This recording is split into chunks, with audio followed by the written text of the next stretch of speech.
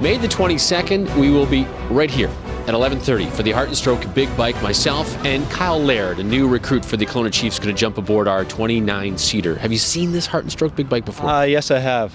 Where? In Nanaimo when it was there. Because you had a family member riding, right? Yeah, my dad was riding it. Well, that's exciting. Does your dad remember where he sat on the big bike? Uh, I'm sure he does, but I haven't asked him.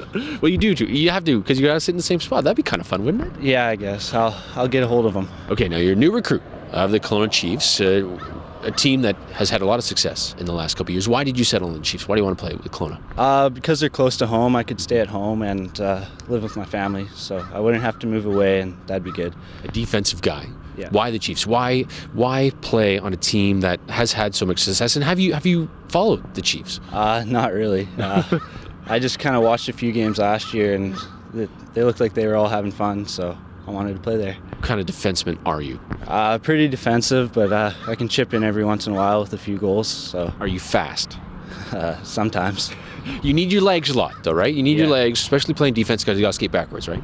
Yeah, So you would say you're in good shape, uh, decent. especially legs, Yeah, because I need your legs. I need your legs for this big bike. Okay, so you're okay. Yeah, I'm good. You're good. You're good. Are you doing any workouts this off season to to help the legs? Uh, yeah, sometimes.